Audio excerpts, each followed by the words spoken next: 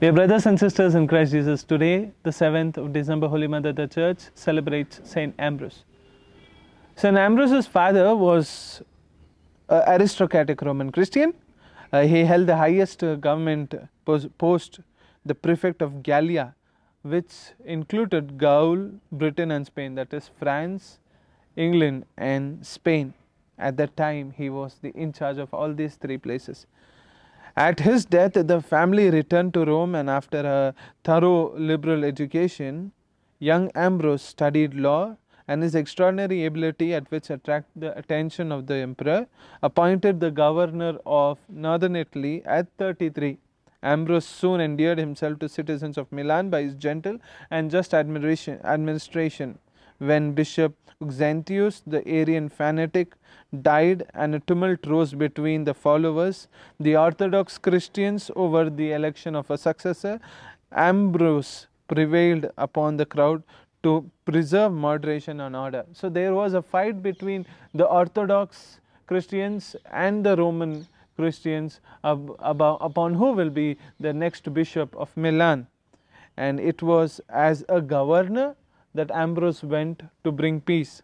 Suddenly, a little child cried out, Ambrose, bishop!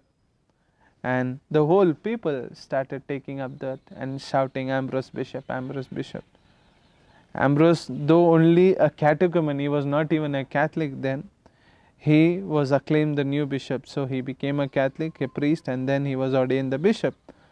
Hmm. Ambrose now gave all his personal property to poor and his lands to the church and plunged into the study of scriptures and the church fathers.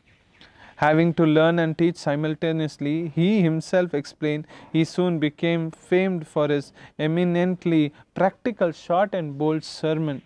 As St. Augustine, his illustrious convert, puts it, he spoke well, judiciously to the point, and with power of expression. It was his custom to administer the sacrament of baptism personally to thousands who sought it. Living like an ascetic, he ate rather sparingly Throughout the day, he held himself at the disposable, disposal of all, both high and low. His night hours were devoted to correspondence and the writing of his books. He defined the position of the church and its authority to teach morals and govern itself, and is needed to look to the state for protection. In 386, the Empress Justina and many of her courtiers who still clung to the Arian heresy tried to force Ambrose to turn a newly constructed basilica over to them, but Bishop and his flock stalled their designs by remaining continuously within its presence for Holy Week services, praying and chanting the hymns. St. Ambrose died on 4th April 397. So, chanting of hymns that Eastern people still do uh, for the Holy Week, it came where? It came through this St. Ambrose and his followers chanting the hymns inside the basilica to protect it from being destroyed.